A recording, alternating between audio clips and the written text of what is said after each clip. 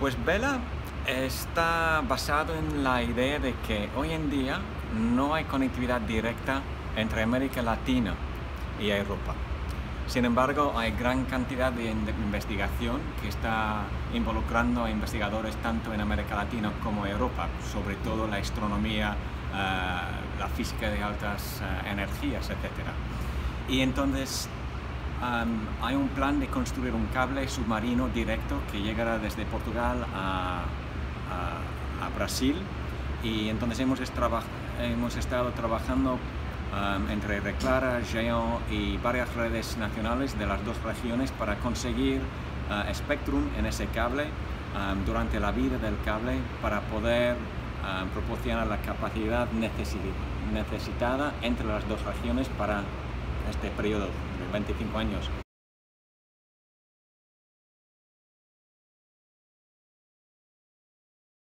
Pero eso no es suficiente, por supuesto, porque no es cuestión simplemente de conectividad intercontinental, sino también de la conectividad en América Latina.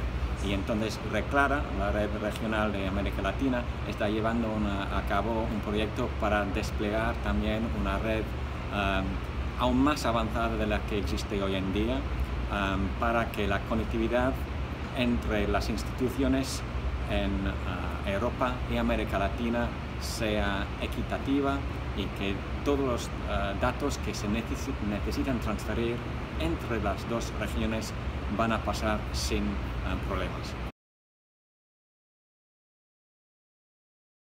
Pues yo creo que en primer lugar es el hecho de que además de, de conseguir esa conectividad Geon reclara las redes nacionales de, Italia, Portugal, España, Francia, Colombia, Brasil, Chile, etc. Estamos trabajando todos juntos para conseguir este objetivo y esto hace que las relaciones entre las dos regiones sean aún más estrechas. Hay trabajo que se está haciendo para fortalecer los conocimientos dentro de América Latina de cómo desplegar esas redes em, de altas velocidades ópticas ah, y, también para informar a los investigadores de aquí en América Latina sobre todo de, de lo que son las posibilidades. Vela es una parte.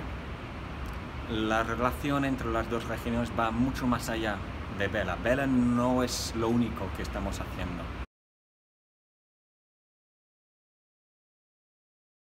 Las redes académicas no solo proporcionan conectividad, es necesario proporcionar otros servicios que permitan que la colaboración sea la mejor posible. Por ejemplo, tenemos el servicio Eduroam, que permite que vas de una institución a otra y conectarte con los eh, credenciales de tu universidad. Eh, hay eh, federaciones de identidad que te permite acceder a servicios que están proporcionados en otras instituciones, en otras partes del mundo. Hay servicios de seguridad, hay servicios de plataformas de colaboración, hay servicios en nubes.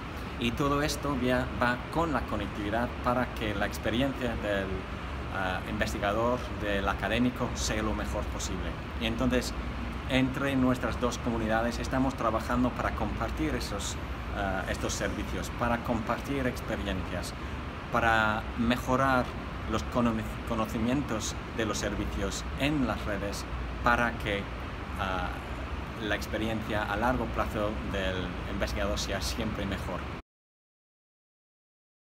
Hoy, por ejemplo, hemos estado hablando entre eh, Europa y todas las redes académicas presentes en TICAL de América Latina y con Reclara de las experiencias de nubes que tenemos en Europa y de cómo podemos ayudar y trabajar juntos entre todos para que los servicios, las posibilidades de servicios en nubes se pueden ah, aumentar en, en, América Latina también.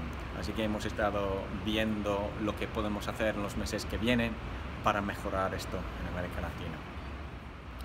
Mañana en una de las plenarias vamos a anunciar un nuevo programa que estamos montando entre Jean y Reclara para incentivar a los usuarios a pensar en lo que están haciendo, lo que es que podrían hacer mejor y cómo las redes académicas de América Latina y Europa pueden ayudar en esto. Será un concurso en que presentan sus proyectos y sus necesidades y las redes académicas vamos a mirar estas propuestas para encontrarlos donde vamos a poder ayudar a mejorar sus colaboraciones en los meses que vienen.